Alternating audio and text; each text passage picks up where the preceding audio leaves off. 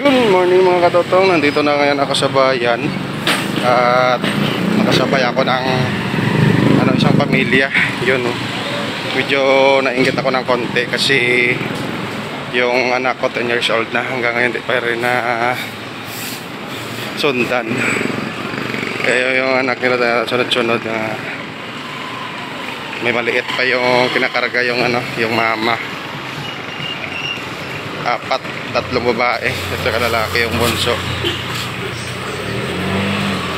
Ah mag 11 na yung anak ko. Ngayon hanggang ngayon di pa rin nasundan. Kaya medyo naano ako na sa kanila sabi ko pag nagsabayan lumaki wala nang problema. Kasi ngayon bata mga maliliit pa kaya medyo mahirap pa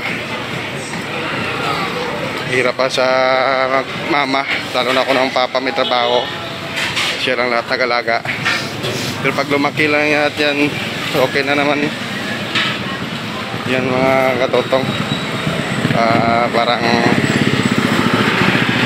hirap hirap sundan ang anak ko pang hirap sundan yung anak ko. Gusto ko sana masundan yung anak ko kaya lang hindi parang ayaw na yata eh. Kaya yan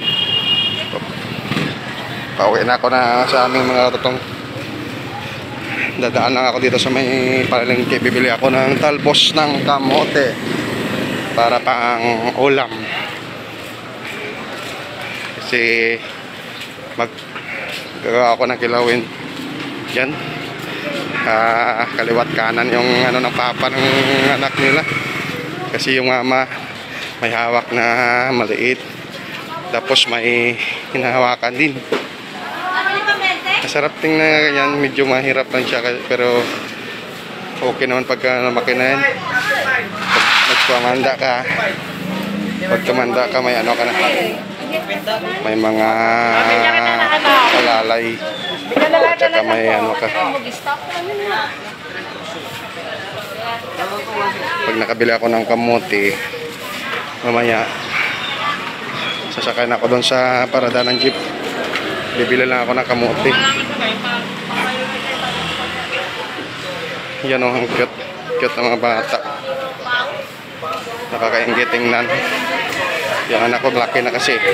Mag 11 na Silaw, yun.